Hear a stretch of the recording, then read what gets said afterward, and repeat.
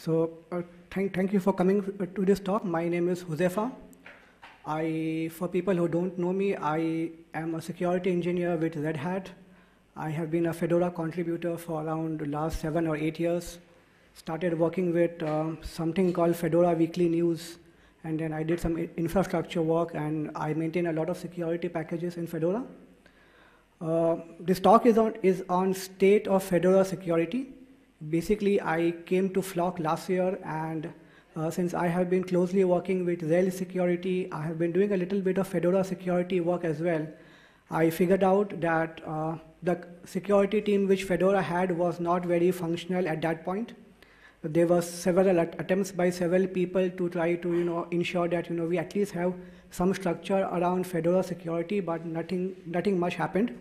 So I came to Flock last year, and I had a couple of objectives, and my aim was to try to see if those objectives could be implemented. So last year, I had these objectives. The first one was security scanning of packages which enter Fedora. We do a very good work of you know, trying to do a package review of new packages which enter Fedora. There is a package review tool. There are a very good package review guidelines, which are probably much better than other distributions out there. But one important thing which is missing from the whole process is we don't, we don't actually review the new packages from a security point of view. So technically, if there's a package which has a backdoor, or you know, if there's a, a package which has not been very well written, if it is, if, if it has a lot of security flaws, then the current review process and the current review tool does not do a very good job of trying to figure out if the, pro, if the package is secure at all. Um, I also wanted to have a package exit po policy. We have a package entry po policy, but we don't have a package exit pol policy. Uh, uh, the, the thing which came to my mind is there are a lot of packages which don't have a good history of fixing security flaws. So there needs to be at least some policy around that to ensure that, you know, if there's a vulnerable package and uh, the maintainer does not care about the security flaws in the package, then we have a way of you know, trying to get that package off the distribution. Uh, I also wanted to work on Fedora Security Dashboard. This is basically a web interface which shows how many packages, how many vulnerable packages we have in Fedora, what are the different security levels which are open against different pack packages, so, you know, uh, one website where you can go and you can figure out, you know, which are the best packages to use or, you know, which are the worst pack packages to, to use. So a, a, single dashboard, a single web website where, you know, you can see all, all of this information. And I also wanted to have uh, some, some way of scanning commits. So uh, this is what I often tell pe pe people that Fedora is hard on the outside but soft and mushy on the inside. What it basically means is that if you need to get a new package in Fedora, there's a review process which you need to go through and stuff like that. But once your package is inside Fedora, once you are a package ma maintainer, then what I could probably do is I can introduce a backdoor into the pa package and probably, you know, nobody will even know or, you know, no, nobody will be able to figure out. So it's very difficult. Once you get a package inside the distribution, then, you know, once you have a maintainer or once you are a proven packager, then you can technically get into any one of the packages, you can introduce a backdoor and stuff uh, like that. Uh, a couple of years back, uh, a guy mailed me saying me that, you know, because I'm a proven packager, he wanted me to introduce a backdoor into RPM. And he offered some money as well. So it's, it's not impossible, it can, can be done. So we need to uh, have a way to figure out that, you know, any new commits which are done to existing pack packages are scanned as well, right? So in this talk, I'm going to talk a little bit about uh, the progress which has been done on all of these objectives. I have, uh, I have two demos to show.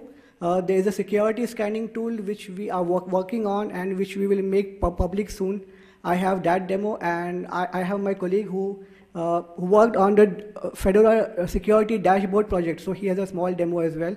I have a couple of objectives which I want to implement for, for the next year. There is one on which is called a container health catalog, which is a very interesting concept, currently used by Red Hat.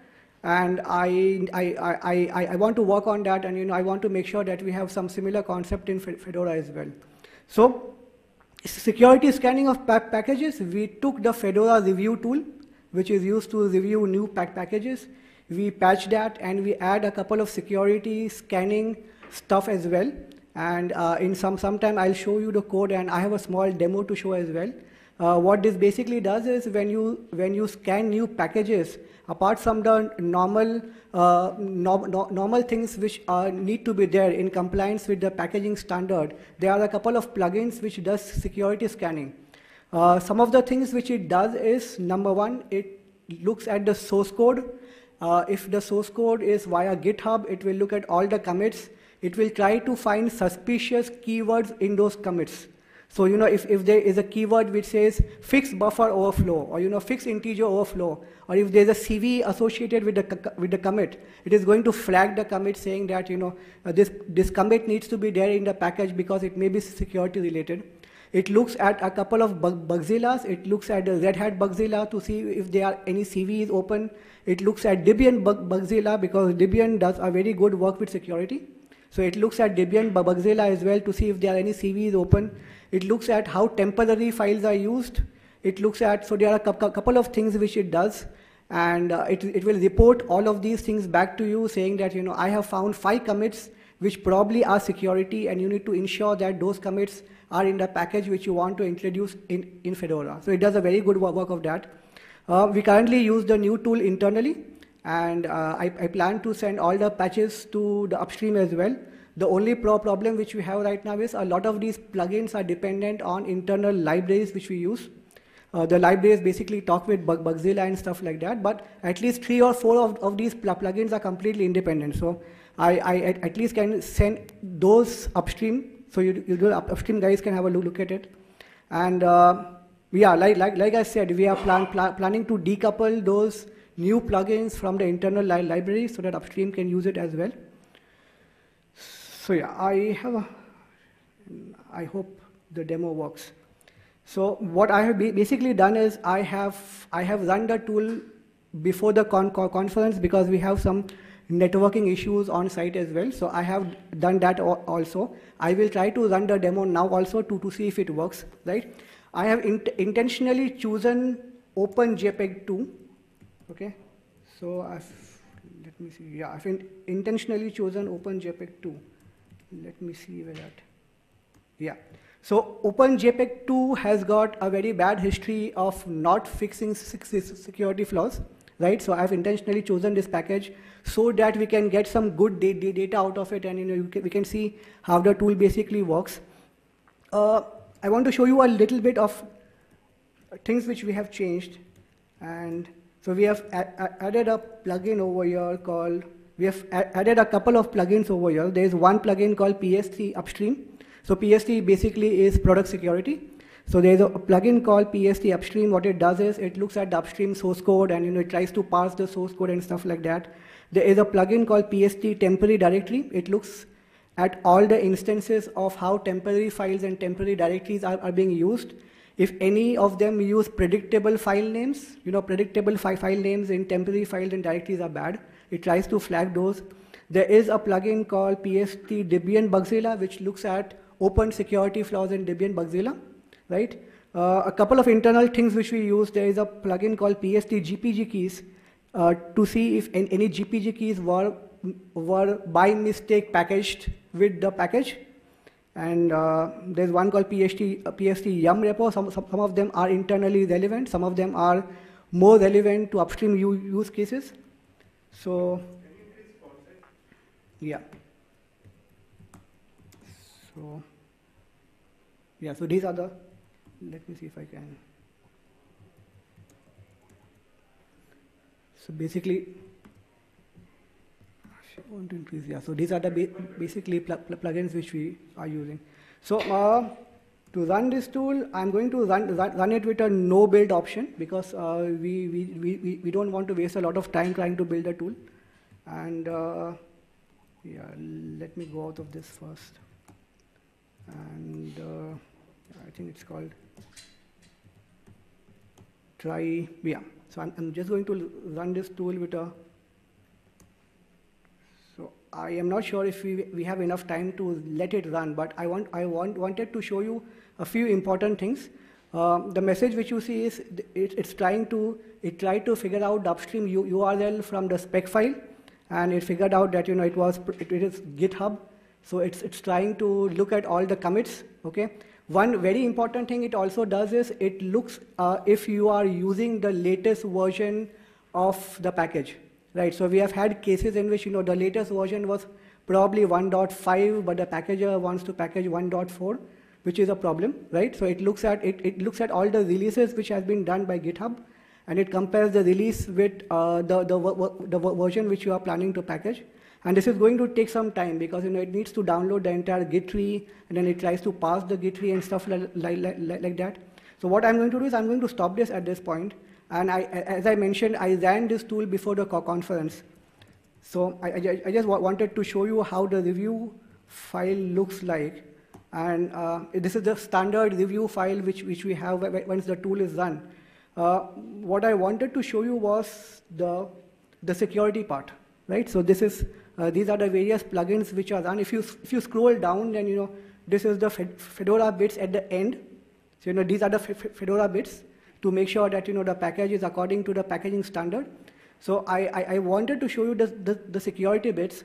And the first thing it found out was that upstream code has been examined for obvious keywords, and this basically failed, right? So it found a lot of upstream commits which were probably security, right? Uh, one, one, one thing which you need to remember is uh, it does not it, it does not have the ability to check if it is indeed security. It is looking at key keywords like like I mentioned, buffer overflow, integer overflow, security, CVE, and you know it's it, it, it's trying to look for keywords like like this and uh, if you if you go to the end i'm just going to quickly go to the end where it shows you the list of all of these commits yeah so if, if you if you see see this one it shows you a list of all the com commits which it think which it thought was security if you see the first one this is probably you know very obvious from this it may not be security the second one may be security because it says detect invalid file dimensions earlier. So probably it's, you know, it's, it's trying to parse a file which is maliciously designed and, you know, it's, it, it, it crashes at that. So this is probably a, a, security commit, right? So, yeah. If you see the second thing which it does is, let me go to the top again. Uh, there are no open security issues in upstream bug, bug, bug tracker, so it goes to the upstream GitHub uh, bug project and it looks at all, all the issues which are currently open and it tries to figure out if, if any of these issues may be security. So I'm just going to quickly show what it found. And uh, so yeah, this is Debian and then upstream, yeah. So uh, it, it found a lot of security issues in upstream Bugzilla. There's one which says decompressed segfault, which definitely looks like security. Then there, there, are a couple of null pointer dereferences. Uh, there are a couple of buffer overflows, which is definitely a security. Uh, a lot of buffer overflows. There's an integer overflow, which is security. There's a str copy, which is security, integer overflow, malloc overflow, and the list goes on, on and on and on and on, right? So te technically, if you were to package this for Fedora, and uh, I don't think the package maintainer cares enough to you know, go to upstream Bugzilla to try to figure out if there are any security issues. Uh, e even if these security issues are not being, being addressed, at least we are now aware that you know, this is probably a package which we may not want in Fedora at all because I mean, I'm not sure if we really want to give a vulnerable package to our, to our customers. So if you see, see the list, it actually goes, goes on. There's, there's a pretty, pretty long list. Right. So after, after doing that, what it also does is it looks at Red Hat Bugzilla to see if there are any open security issues. It looks at, if you, if you, if you scroll down, it looks at Debian Bugzilla as well. So I'm, I'm just going to show, show you that as well. So if you go over here, then, yeah, this is Debian Bug, Bugzilla first. There are a lot of CVE issues. So these are definite security issues right? So there are a lot of CVE issues which are open. I can see one, two, three, four, five, six, seven, eight, nine, probably eight or nine security issues which are open against OpenJPEG. Uh, there is a Red Hat Bugzilla as well, which I wanted to show. I'm not sure if it found anything. Pro probably did not find anything in Red Hat Bugs. There was? Okay. Um, yeah, Th this one. So a lot of issues open in Red Hat Bugzilla as well. I can count one, two, three, four, five, six, or something like that. So a lot of lot of issues it, it was able to able to find. Um, what it also found was it found so this this is the upstream release which I was talk, talking about. It basically says that you know the latest upstream release is 2.3.1 and the one which we are trying to package right now is 2.3.1. So probably this is the latest one which we are, are, are, using. It will also list all the different upstream releases which were made, the dates on which the release were, were basically made. Uh, one, one more thing which I wanted to show you is uh, locations which refer to tem temporary file parts. Right? So if a temporary file was used or if a temporary, a temporary directory was used, it will show you the different locations where those, where those temporary code is used. A lot of them may be false po po positive, so it is up to the package maintainer or it is up to the security engineer to try to figure out. But at least we have a list of locations which you know you can ki probably kind of go through and uh, with little bit of automation we can i think we can remove a lot of false po positives from, from this as well so long list a lot of these are tests which means that you know they, they can probably be, be, be ignored some, some, some of this is documentation as well. So, you know, we, we really don't want, we re really don't care about documentation at this point. And it's a long, long, long, long, long list. And yeah.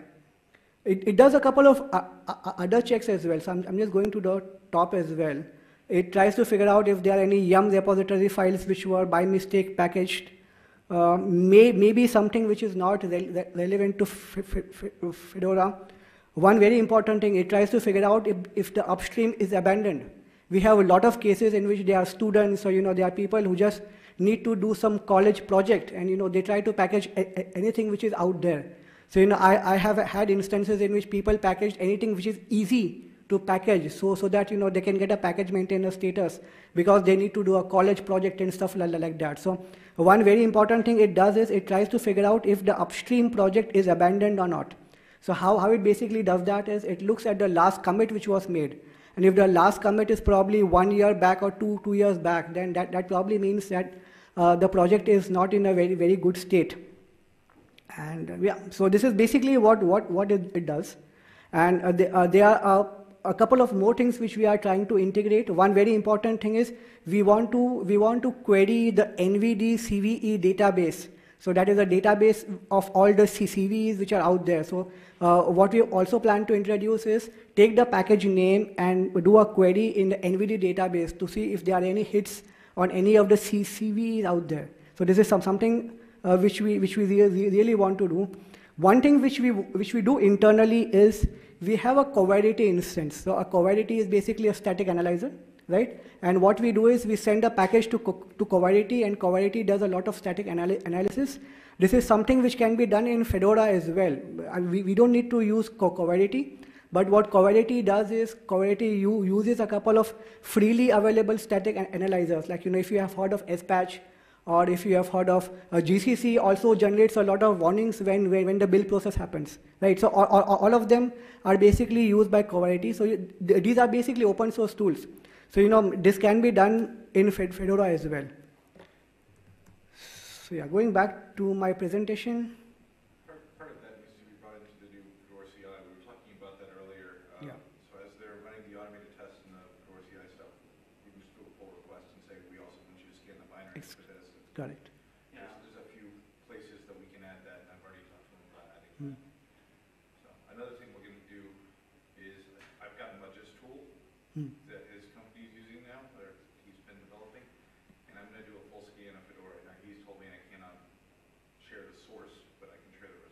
Okay. The.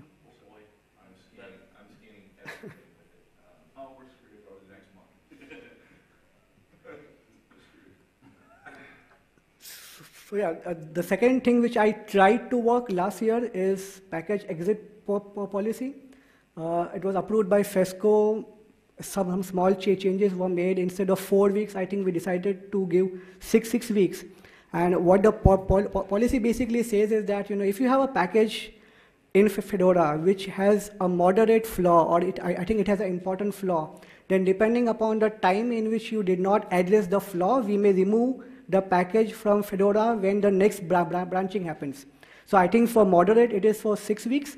If you have a package in Fedora and there is a moderate security flaw which is open against that package, and that flaw is open for six, six weeks, then the next time the branching happens, we will try to remove that package. Right? So we have a, we have a very good package exit, uh, exit po po policy right now. So getting the po policy approved by FESCO was not difficult, but getting it done by release engineering proved to be a very difficult job. And it took a couple of months for, for me to try to figure out whom to contact and you know uh, how, how to get the work done. So it seems like release engineering is very busy. And you need to ping them a couple of times. If you see, see the ticket, I pinged them at least three or four, four times. There was no response at all. Then somebody told me that, you know, I should probably go back to FESCO and tell FESCO that you guys approved this policy. Can you help me with trying to engage Zell engineering to get it done? So I had to open a FESCO ticket and FESCO had to go back to Zell engineering and tell, tell them that, you know, please, can you guys please get this done? And we kind of got delayed by one release cycle, but I'm, I'm quite positive. I have not spoken with Mohan yet, but I'm quite pos positive that from Fedora 31 onwards, we will have this policy implemented. So let's hope, fingers crossed. Uh, Fedora Security Dashboard, my initial plan was to get either Outreachy or GSOC students to, you know, help me with, with this. But it seems like, you know, I, I, I did not properly know how Outreachy works. It seems like you need to have a couple of simple tasks which the students need to do, and then, you know, you need to make sure that they are able to do it and stuff like, like that, which did not happen. Probably, you know, I, I did not understand how these pro pro projects work. Uh, luckily, my colleague Bolau, if I'm pronouncing your name correctly, he stepped in and he did a lot of good, good work. Uh, after I finish, I, uh, he's going to give a five-minute small demo of how the Fedora dashboard works. My plan is to get a running version and host it on some Fedora site, and we will see how, how, how that goes. Uh, yeah, so I, I, I, have some new plans for, for next year.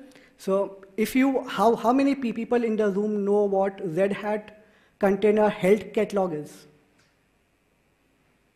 Probably one or two what it basically is that when we have a when we have a container which is available for download on the internet or from registry.redhat.com or you know some Red Hat container web website, uh, when the container is last was last spun, there were a lot of security flaws which were found in those those components which were part of the con container which was spun, right? So if, if the container was spun last week, say probably seven days back, after that seven moderate flaws were found in components which were part of the con container.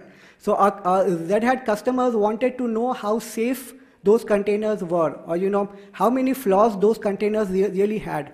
So what Red Hat did was they introduced something called Container Health Index. What it basically does is, depending upon the number of flaws which the container is vulnerable to, they are going to call it green, then yellow, then orange, then red so, so, so that when our customers want to download the container, they know the state of the container. I have a web page which is open, and I want to show this web page to you. So this basically talks about, this is a web, web page which is pub public. It talks about, you know, uh, the, the magic for formula which we use. So if the container is grade A, then it means that, you know, there are no, none, there are no unapplied critical or important fix fixes. Then they have various grades and they have various col colors as well, right? So th this is something which they implement. And if you see the container catalog, you know, if you, if you download this particular container, then this is a grade A container from a security point of view, right? So they have some magic for formula which they use, uh, which takes into account the number of days, the number of flaws, the impact of those security flaws, and you know, they, they cal cal calculate the health index. So uh, I, I tried to talk with Red Hat legal guys because you know this is this is probably some some of the internal things which, which they are doing. So I'm still talk, talking with them. Uh, we are basically from a Fedora point of view, we are not interested in the formula which they use. We can probably come up with a very simple formula of our own. But the, the whole point over here is the, the various containers which are available for download, uh, the people who download these containers, customers, you, you, users, or whoever, they basically know that you know what is how secure or how unsecure the container is, right? So th- this is basically the pur- purpose of doing that. And uh, the second thing is, uh, yeah, so this is basically what the, the, container catalog should be doing. Uh, I, I also want, want to try to make sure that security updates reach our cus- customers faster, right? Uh, some some time back, I tried to open a ticket against Bodhi guys to you know because normally updates take a little bit of time. Then you know it needs to be QA'd, it needs to get the right karma. After kar- kar- karma is given, it is pushed to the updates testing repository where it needs to stay for some amount of time. The prob- problem with this is that if there's a critical or important security bug, then that's going to delay the, the amount of time which our customers or the amount of time which our users get in order to download that. So I still need to think a little bit about that. Probably one method of doing it is to have an updates testing security repository where you know those updates are still in testing, but because they are security, probably you know this is so I, I I'm not really, really sure about that, but you know this is probably one thing which came to my mind. If, if you have critical security flaws, it's possible to actually bypass updates testing from a push standpoint, because what happens is, you file, you file the update, you get, you ask QE to test it for you. Yeah. Then they If- put karma. If you ask, they'll test it, it'll get enough karma that it actually bypasses up updates testing, and then you tell RelEng, I've got a critical security flaw, can you please do a push? Yes. They'll And push they'll the button push it out. manually. We have we have done done this a lot of times. So if I remember Heartbleed, Shell Shell Shock, and a couple of other security issues, we had to uh, we had to tell release engineering that you know we have something very important com- com- coming up, and you know it will be pu- pu- pu- pu- public at so and so time, and you know it will take us one hour for the package to be built. Make sure that the package is pushed into stable as soon as you can, right? But then this is only when when the issue is cri- is critical or you know when it is important or something like that. But the ratio of critical and important issues are much lesser as compared to moderate issues. So you know if, if there is some method of trying to, I, I'm not saying bypass QE at all, but I'm, I'm, I'm just basically trying to say that So the thing with Bodhi now, uh, in the latest versions, if you push an update into there and it's in the pending state, and you get somebody to go and download the updates and run QA on it of some kind, they can put the karma in there and it'll skip testing and go straight to stable anyway. Okay, So that, that's now a standardized alternative flow, but it's all gated on the karma. Right, so to get, to get moderates out there, you you go to the QE, the Fedora QE channel, or Fedora QA channel on IRC and ask people to test, and people are always willing to for Yeah. security stuff. You'll get the karma immediately, and then it's a question of, if it's critical, then you can ask release engineering to actually do a push. If it's not, it's gonna happen within the next twenty-four hours. yeah. And then it synchronizes up to the mirror network over the course of the next twelve hours. So last last one which I have not really figured out yet, but I, I believe Google is doing doing this, and we need to figure out if they are using any open source tools to do it. They they they scan all the commits. So I they are doing it with Chrome Google Chromium, in which you know whenever somebody makes a commit, they have a they have an en- engine behind that which scans the commit, some kind of heuristics to figure out if you know if there's something wrong from a security point of view. But but then they have a huge infrastructure, so I am not su- surprised that they would be able to do it. But if they if there's any open source tool, I'm currently talking with a couple of Google engineers to try to fi- figure out if they can open source the tool which they have, and you know if we can we can if if, if, if, Fedora can use it as well. But it is it is a very useful thing to do if you are able to figure out if any new commits or any new tarballs uploaded by package main, main, main maintainers, if they have any security issues with, with them. Tarball uploads trigger fed messages. Um, yes, Tarball uploads trigger fed messages, but what might be an easier tool or an easier way to do that with the Fedora infrastructure as it is now is we do get a fed message on builds.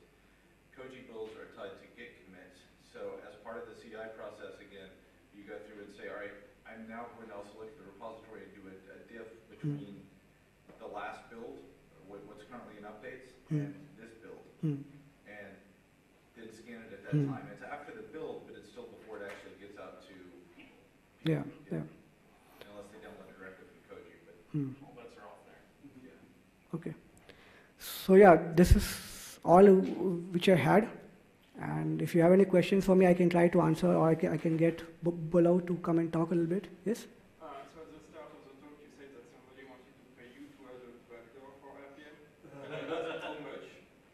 I mean, I'm curious. yeah, Do, do you really want me to answer the question? yeah. Yes. I mean, how much does people pay for that? Like, what is the price for an attacker? It was it was around 50k U- USD. That's a lot. But That is- That's that's that's not much, yeah. But but but it was five five five years back, so, and I'm not sure if I'm not sure if he really wanted to pay or it was a joke or something like that.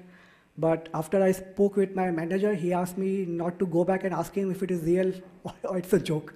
So Yeah.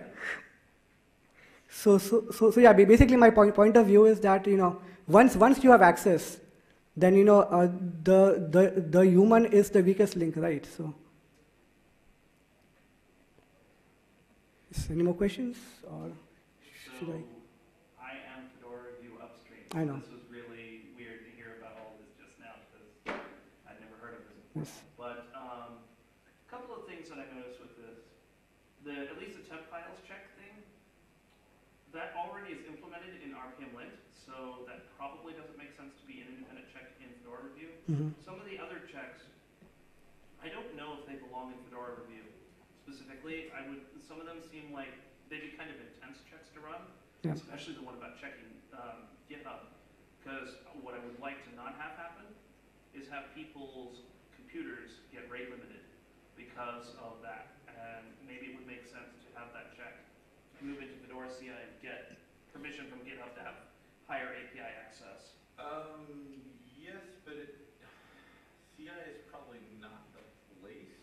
I mean, we already do so many other weird checks at I that know, but level, that's done at every package build.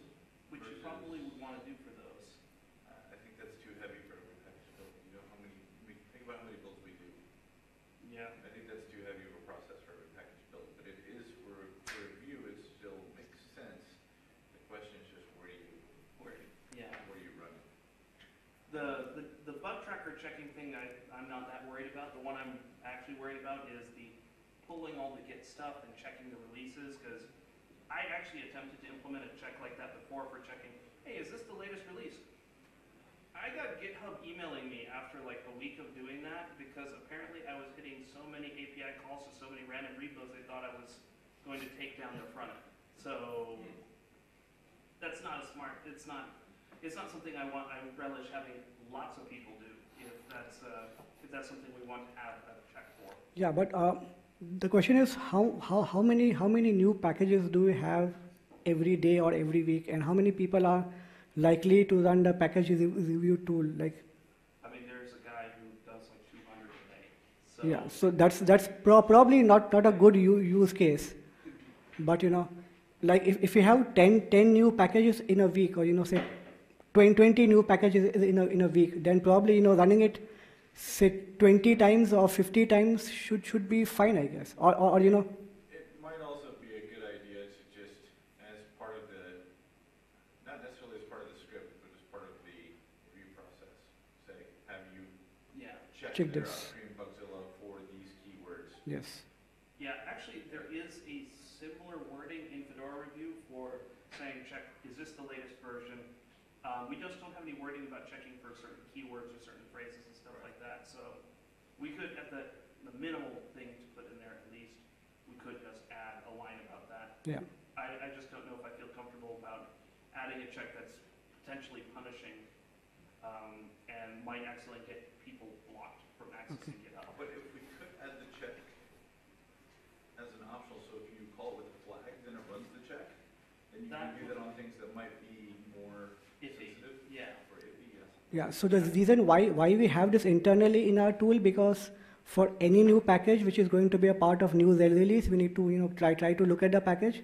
And the security engineer was like like like I said was like the weakest link to, to the whole ch- check, because like you know after reviewing a couple of packages he got bored, like like so so and and and and he used to make a lot of mistakes, right? I mean which which, which is fine because because because it, it's a human process uh, human processes are prone to mistakes. So, you know, we wanted to ensure that, you know, we had at least, and, and uh, the, the engineer could spend his time doing other important things like, you know, probably looking at the code to see, you know, if there are any, if it's a SUID root binary, trying to uh, figure out if all correct programming practices have been followed and all that.